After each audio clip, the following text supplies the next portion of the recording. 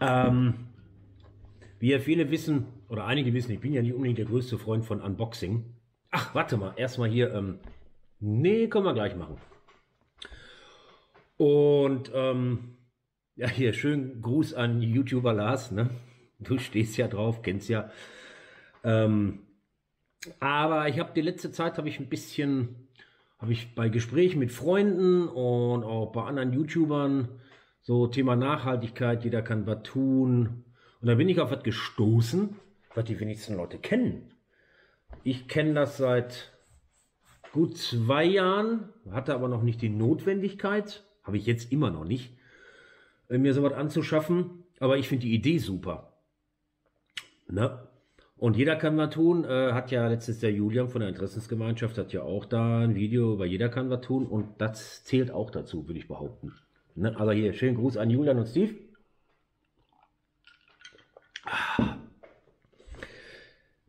Es geht um ein Telefon.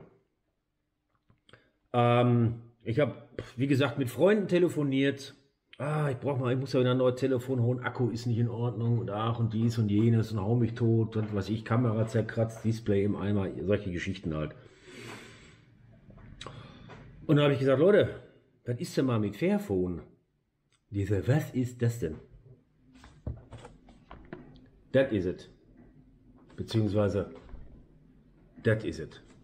Also ist der Karton davon, ne? Ähm, ja, ich habe vor zwei Jahren habe ich äh, jemanden an, in einem Festival getroffen, der hat mir auch davon erzählt. Ich habe davon vorher schon gehört, aber ich hatte noch nie eins gesehen. Und äh, hat man sich über diese Akku-Thematik unterhalten und ich sagte dann, hey, guck mal hier, tschick, tschuk, tschak, tschuk, tschung, hat er das Ding auseinandergenommen. Ich war total begeistert. Der hat mir auch erzählt, man kann verschiedene Teile updaten, austauschen gegen neue, ohne große Probleme. Und während ich hier quatsche, ich das ja schon auf, der nimmt die Kamera von oben. Und dann dachte ich mir, ey, weißt du was, komm, bestellst dir so ein Viech mal. Einfach nur ja, gebraucht habe ich es nicht. Also schon erster Fehler, eigentlich schon, ne, gebe ich zu, was kaufen, was man eigentlich gar nicht braucht. Wäre schon mal der erste, was man machen sollte, könnte einfach mal nichts machen. Ist auch nicht schlecht. So, dann habe ich mir das Fairphone hier geholt. Ne? Und das erste, was ich sehe, ist, na, komm her, ist ein Schraubendreher bei. Also, man kann das Ding auseinandernehmen und die liefern das Werkzeug gleich mit. Der Deckel ist super easy hinten abzumachen. Einfach nur Klicker, Klicker, Klacker. Batterie ist draußen und ihr seht, überall sind Kreuzschrauben drin. Zwei SIM-Karten, also Dual-SIM-fähig, 64 GB, glaube ich, auf der Platte drauf und kannst du noch deine SD-Karte reinschieben. So, aber bevor ich jetzt hier anfange, äh, ich mache jetzt hier auch ganz bewusst Werbung für die Bande. Ich kriege da nichts für. Ich will da auch nichts für haben. Ich finde einfach die Idee super. A, erstmal, dass man ein Telefon hat, wo man den Akku wechseln kann. Wo man auch gewisse Hardware, Teile einzeln upgraden, reparieren und etc. pp. Da ist auch so ein Fingerscanner bei, Kamera, alles was halt so ein Smartphone hat mit Android und all so ein Zeug. Ist sogar ein bisschen größer als mein altes. Oder ein bisschen. Ja, etwas. So, zu denen kommen wir später.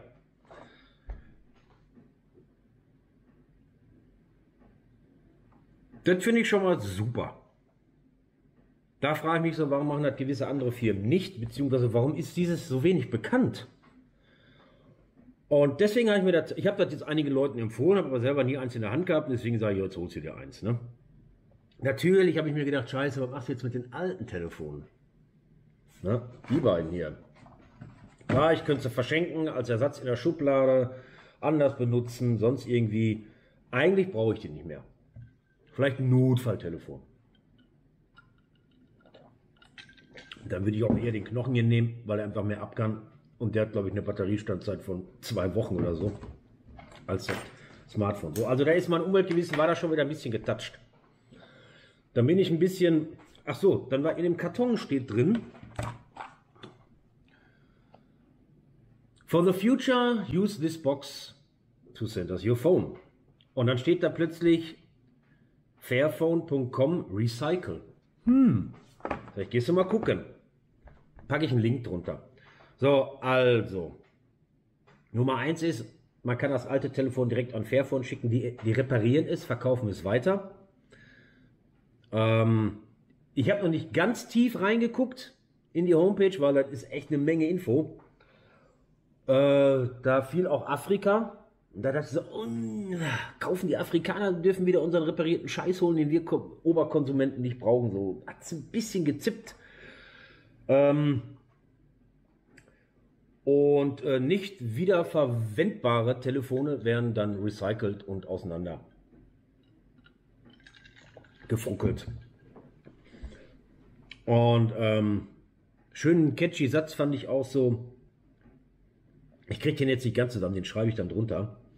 Ähm, wie viel Unzen oder Kilogramm Gold in X Menge Telefon ist im Verhältnis zu, ich weiß es jetzt nicht mehr, ich schreibe es drunter. Ich dachte, super. Und weißt du, weil wir die Dinger sowieso nicht brauche, schicke ich sie dahin, dann habe ich sie nicht Ewigkeiten rumfliegen. Und pff, ja, sollen sie noch ein Geschäft mitmachen. Dafür haben sie ein geiles Produkt. Ne? So. Und dann, das ist eine Aktion, die ist wohl noch nicht komplett angelaufen. Müsst ihr selber mal auf der Homepage gucken. Wenn du dein altes Telefon einschickst, zum Wiederaufarbeiten beziehungsweise zum äh, Recyceln. Und ich finde das schon mal cool, dass das komplett markenlos ist. Das heißt, solange die Telefone sich anschalten lassen, versuchen die, die wieder gangbar zu machen. Finde ich schon mal, finde ich geil. Finde ich echt geil. Dachte ich, nee, äh, dat, da kann ich dabei sein. Ne? So. Jetzt wollte ich natürlich eigentlich dieses schöne Telefon mal ganz entspannt komplett in seine Teile zerlegen äh, um mal zu gucken, ob das hier alles wirklich mit dem Einschraubendreher geht. Dachte mir natürlich, da habe ich noch ein bisschen Zeit. Ja, wie zu ist, ne? Zwei Tage alt, gestern vom Fahrradsattel runtergefahren und wie sieht der Bildschirm aus? Moment. So. Ich habe Schnee auf dem Bildschirm. Ich hoffe mal, dass jetzt durch den Aufprall, das war hier oben an der Kante, dass sich da nur eine Verbindung oder irgendwas gelöst hat, weil der Bildschirm zeigt alles an. Er ist auch nicht kaputt. Ansonsten wird es natürlich dann direkt, kann ich ausprobieren, wie das ist bei äh, Fairphone, da Ersatzteile zu bestellen. Im Zweifelsfall, wenn ich nicht weiß, woran es liegt, schicke ich es ein. Boah, so. Und äh, das mache ich jetzt mal. Ich nehme das Ding jetzt mal auseinander und gucke, ob ich rausfinde, warum das hier kaputt ist. Ich hoffe, das ist wirklich nur eine lose Verbindung. So, bevor ich loslege, ähm, muss ich erstmal sagen, nicht ein Fitzel Plastik an der Verpackung. Selbst die Pappverpackung war außen nur mit dem Aufkleber versiegelt. Der war aus Kunststoff, aber ansonsten null Plastik. Hier bisschen da Gesundheits- und ähm, was sagt man, ähm, Sicherheitsinformation und dann hier kurzer Quick Guide, alles super easy. Kein Ladegerät, kein USB-C-Kabel, braucht man auch nicht, weil jeder so einen Scheiß zu Hause rumfliegen hat mittlerweile. Und äh, wenn ich überlege, dass es auch schon äh, mehrfach Steckdosen mit USB-Anschluss gibt, brauchst du nicht mehr mehr Ladegeräte, brauchst du das scheiß Kabel. Warum das Kabel verkaufen, wenn es schon zu Hause liegt? Finde ich eine super Idee, bin ich schon mal voll dabei. Ja, jetzt wollen wir mal gucken, ob wir das Ding hier auseinanderkriegen. Ich glaube, ich hole mir noch ein weißes Blatt, damit man ein bisschen vom Hintergrund sich abhebt. Ja, ein anderer Grund muss ich ja noch sagen, der auch mit dazu geführt hat, dass ich mir das Ding jetzt mal einfach geholt habe, um euch das mal zu zeigen, ist dieser, ähm, wie nennt er sich, äh, World Overshoot Day, den wir ja vor knapp einem Monat, irgendwann im April war der. Also Ressourcen für 2021 sind aufgebraucht. Ne? Jetzt leben wir auf Pump. Und da muss ich auch mich nochmal beim Corin Corvus bedanken, der mir dann diesen Begriff dann nochmal mitgeteilt hat per Kommentar. Äh, ich bin halt nicht drauf gekommen und ich mache mal die Videos halt relativ spontan. Ne? Gut, so, auf geht's. Wir schrauben das Ding jetzt auseinander. Gut, dann wollen wir das Ding mal auseinandernehmen und mal schauen, ob ich mein Schätzchen hier wieder in Funktion kriege nach zwei grandiosen Tagen der Nutzung. Ähm, Habe ich übrigens schon gesagt, dass ähm, wenn ihr die alten Telefone einschickt, wenn ich das richtig gelesen habe, gibt es ein, eine Gutschrift. Ach Gott, guck mal hier, wie ich aussehe. Eine Gutschrift ähm, beim Kauf eines neuen Fairphones. wird, ne? Und äh, während ich jetzt hier einfach mal die Schrauben losmache. Achso, übrigens, ähm, ich habe das vorher noch nicht getestet. Ich schraube jetzt hier einfach mal alle Schrauben los, die ich so sehe und die ich losschrauben kann. Und dann schaue ich einfach mal, was passiert. Ne? Mal gucken, was hier los ist. Ihr seht das ja von, von oben. Oh, das ist sogar ein magnetischer Schraubendreher. Finde ich schon mal cool. Was ich noch nicht weiß, ob das einen Sinn hat, das ist hier dieser Keil am Ende. Aber kommt Zeit, kommt Rat. Jetzt will ich erstmal, dass mein Schätzchen hier wieder funktioniert. Ansonsten werde ich gleich mal den Ersatzteilservice von Fairphone austesten, wie gut der denn funktioniert. Ne? So. Ach jo, ein anderer Grund, warum ich noch drauf gekommen bin, um das hier zu machen. Ich habe bei, boah, ich glaube, Thilo Jung, Junge Naiv kennt er, ne? Verlinke ich auch mal unten habe ich mal ein Interview mit äh, Sarah Wagenknecht gesehen. Hat jetzt nicht direkt mit dem Telefon, nicht direkt mit dem Telefon zu tun. Und die hat mal irgendwann sich auch darüber beschwert, dass hier mit dieser Nachhaltigkeit und Geschichte, Lieferkette ist ja auch so ein Ding, ne? Und sagte, sie kauft sich eigentlich nur ein neues Telefon, wenn der Akku leer ist. Weil sie den nicht austauschen kann. Ja. dann habe ich mir gedacht, so jetzt ist langsam mal Zeit, dass ich mal dieses Fairphone mal ausprobiere und mal schaue, was da so geht. So, ich habe, oh Gott, irgendwo gelesen, ich weiß nicht mehr wo, äh, dass man das Ding innerhalb von 10 Minuten ohne Probleme auseinandernehmen kann. Mal gucken. Die Zeit hier läuft ja mit.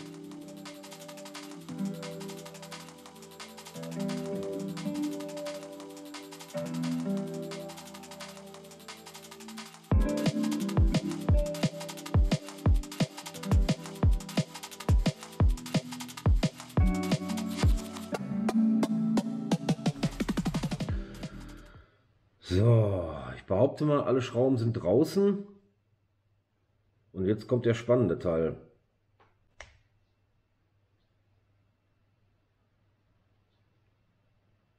Jetzt muss man noch irgendwie was losmachen können hier.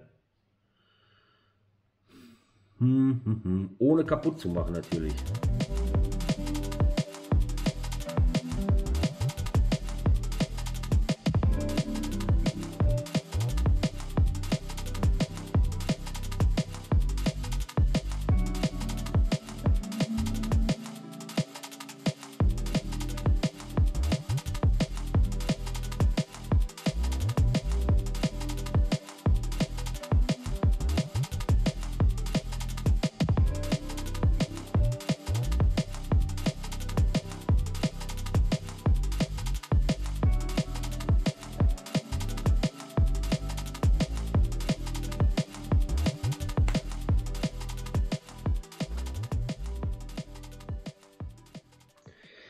Ist ja schön, dass da drauf steht Design to Open. Ich möchte das jetzt auch gerne open.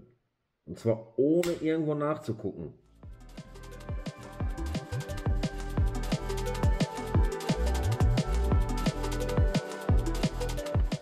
Oh, da geht ja was. Haha. Yes! Wenn man es einmal weiß, da muss was geklickt werden. Es ist wirklich der Bildschirm, der zuerst raus muss.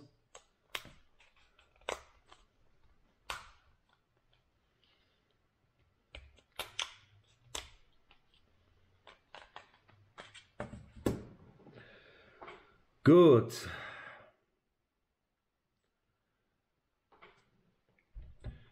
Der Bildschirm lässt sich rausnehmen. Und es könnte sein, dass sich an den Kontakten hier durch den Aufprall irgendwas verschoben hat. Und wenn nicht, ja dann habe ich glaube ich ein Problem. Dann muss ich wohl einen neuen Bildschirm haben. könnte jetzt einfach den Bildschirm nochmal reindrücken und ausprobieren. Aber eigentlich möchte ich der Teil, pass auf, wir machen das so. Bildschirm ist jetzt weit der Grund. Wir gucken jetzt mal, wie weit wir das Ding noch weiter auseinandernehmen können. So, hier sind ja noch diverse Schrauben, weil, so verspricht Fairphone, besteht die Möglichkeit, verschiedene Hardware-Komponenten auszutauschen gegen zum Beispiel kaputte natürlich, natürlich kaputte gegen ähm, funktionierende oder auch upgraden. Was weiß ich, kommt eine bessere Kamera raus, dann machen die das so, dass die Kameras in das Telefon passen. Das ist doch mal eine, eine coole Sache, oder? So, ich schraube jetzt hier einfach mal wieder alle möglichen Schrauben los und gucke einfach mal, wie weit ich das Teil zerlegen kann. Und dann schraube ich es nachher wieder zusammen und hoffe, dass dieser Krüsselbildschirm, dass das alles war. So, was haben wir hier? Mit was haben wir hier? Das müsste, schauen wir mal. Guck mal, der USB-C-Anschluss mit dem, das Symbol scheint es herzugeben, mit dem Mikrofon ist ein Teil. Packen wir mal zur Seite. So, das heißt, wenn ihr mal den USB-Anschluss irgendwann kaputt macht, könnt ihr euch einen neuen holen und den selber einbauen. Mal guck mal, das sieht auch, auch aus, als wenn es rausgeht. Lautsprechermodul lässt sich auch einzeln ersetzen.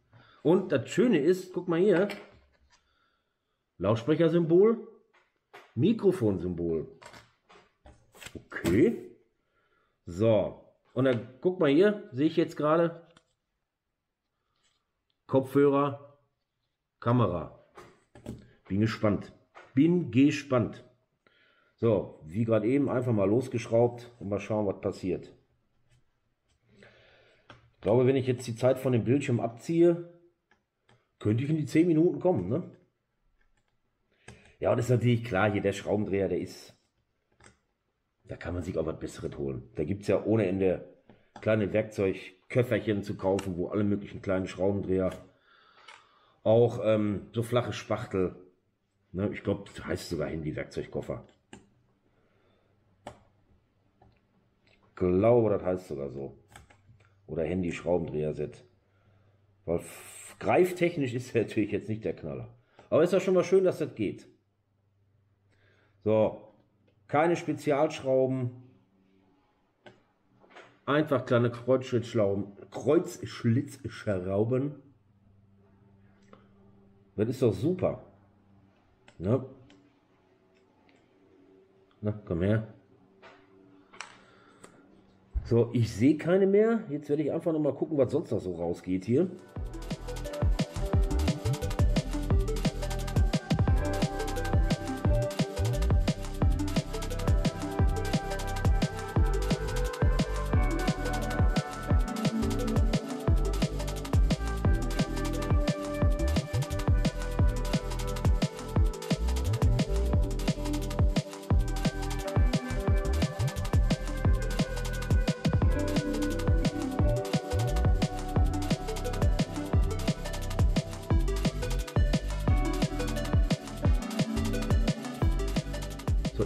Rauszufinden, welche Teil wo ist.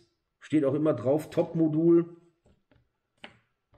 Was wohl, was haben wir hier? Da ist die Selfie-Kamera mit drin und noch irgendwas anderes.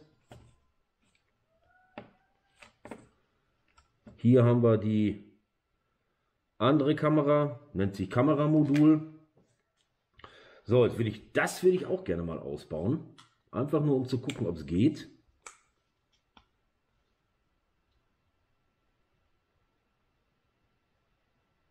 Da ist was festgemacht.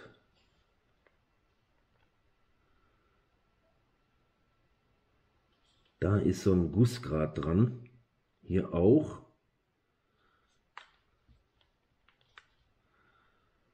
Darf das nicht, soll das nicht. Ich werde jetzt ja auch nicht kaputt machen, ne? Da ist nämlich quasi jetzt die Hauptplatine. Aber warum sollte die an zwei Punkten fest sein.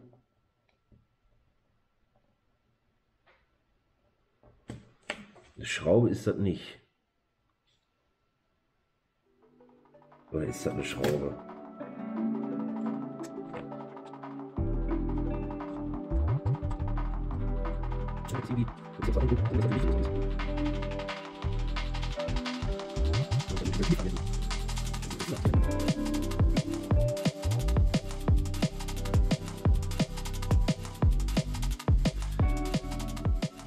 Gut, da will ich jetzt nicht weitergehen.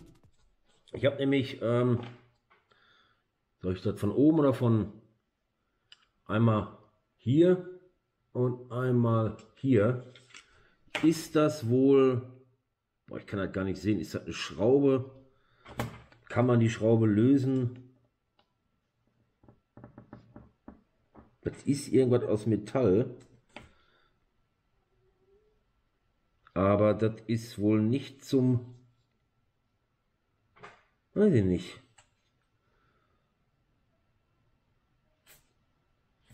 Das scheint wohl nicht zum Lösen gemacht zu sein.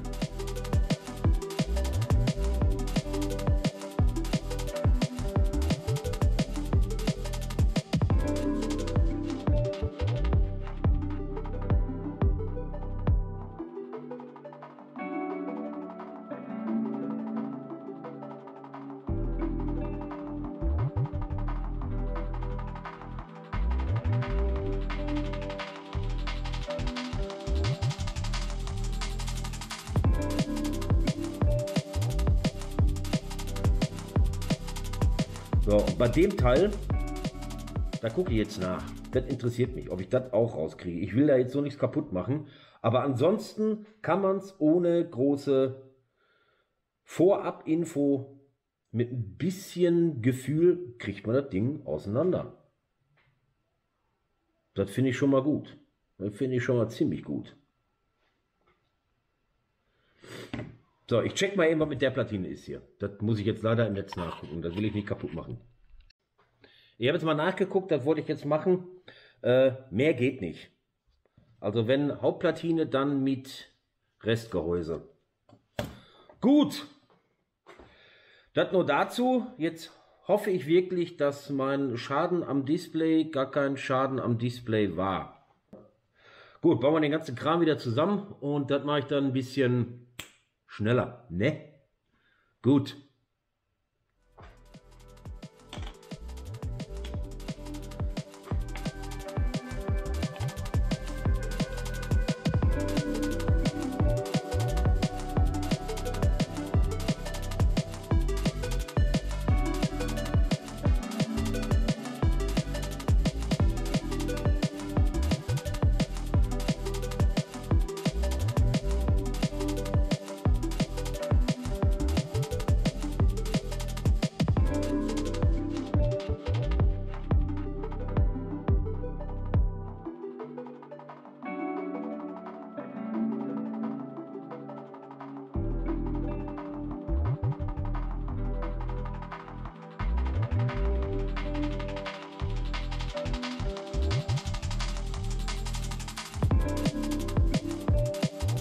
So, jetzt kommt der Moment, bevor ich hier zusammenschraube. Ähm, Achso, übrigens, was mir eingefallen, was ich auch noch habe, auch, auch noch sagen muss, bevor ich jetzt hier apropos Schrauben, sonst vergesse ich das wieder. Alle Schrauben sind genau gleich. Da gibt es keine verschiedenen langen, verschiedene andere Gewinde. Äh, was noch? Ja, das war es eigentlich schon. Die sind alle gleich. Und der hier, dieser Nupsi hier, ich glaube, der ist dafür, um die ähm, Steckverbindung zwischen einzelnen Modulen, die sauber wieder reinzudrücken. So, und jetzt kommt der große, der große Moment. Ähm, ist mein Display kaputt oder ist es nicht kaputt? Oh, bitte nicht. Jawohl! Ast rein. Ich habe mein Telefon repariert. Spitze. Ja, also Fairphone. Ich finde den Grundgedanken von dem Ding einfach so geil. Ne? Mal was zu haben, wo man Teile austauschen kann, wo man reparieren kann. So war das mal überall. Das gab es früher immer. Und ich verstehe überhaupt nicht, wie die ganzen Fanboys dem Apfel hinterherlaufen können, der sowas nicht hat. Das ist doch mal, dass sich da noch keiner beschwert hat. Leute, was ist los mit einem austauschbaren Akku? Da gab es ja auch mal bei Apple schon mal so ein Ding mit dem, wie hieß das erste Teil von den iPod, ne? Wo äh, so rein zufällig nach Ablauf der Garantie dummerweise der Akku kaputt war. So ein Scheiß aber auch, ne? Und die Leistungsdaten, die Software, ob das jetzt einer toll findet oder schlecht findet oder besser oder schlechter, da, da will ich gar nichts, das, das muss jeder selber wissen. Aber ich meine, dass ein Konzern einen so abzieht dabei, ne? von wegen äh, Kompatibilität, Reparatur, ne? und ich meine, da ist ja Samsung mittlerweile auch nicht besser. Die haben, ich hatte mal ein kleines Samsung, so ein Mini, das war sogar noch Dual SIM und da konnte man auch die Batterie austauschen. Also, ja, Fairphone kann ich auf jeden Fall nur empfehlen. Das, das ist mal was nach dem Motto, da kann jeder was machen und das ist ein bisschen nachhaltig. Ne? So, ich schraube das Ding jetzt noch weiter zusammen. Ich muss erstmal gucken. Ich werde erstmal in jedes Loch eine Schraube reinpacken, ob ich nicht innen drin eine Schraube vergessen habe, bevor ich hier alles anziehe. Guckt euch mal ein bisschen auf der Homepage von Fairphone um und äh, Lest euch da mal was durch. Vielleicht ist ja die ein oder, in, ein oder andere Info, die ich noch nicht gesehen habe. Vielleicht hab, ist, äh, kann mir da einer in den Kommentaren irgendwas zu sagen. Vielleicht stimmt ja auch einiges nicht. Vielleicht habe ich einiges falsch interpretiert. Ich finde aber, Fair, diese, diese, habe ich, wiederhole ich mich jetzt nochmal. Fairphone ist ein tolles Produkt. Und das ist es wert hier auf meinen, auch wenn er noch so klein ist, Kanal mal ein bisschen äh, beworben zu werden. Fairphone hat, glaube ich, einen Gesamtanteil am Markt am Smartphone-Markt, habe ich mal irgendwo gesehen, 0,3 Prozent. Ist jetzt nicht der Knaller. Darf auch ruhig mehr werden, finde ich. Weil ich einfach die Idee einfach spitze finde. Na. Und da muss es wieder hingehen. Da muss es auf jeden Fall wieder hingehen. Dass wir Dinge mehrfach nutzen, länger nutzen und auch dafür sorgen, dass, da mal, dass, man, dass man die erweitern kann. Das geht. So weit vorausschauend kann man handeln. So, eine Schraube ist übrig und ich habe sie gefunden. Spitze, also keine Schraube vergessen.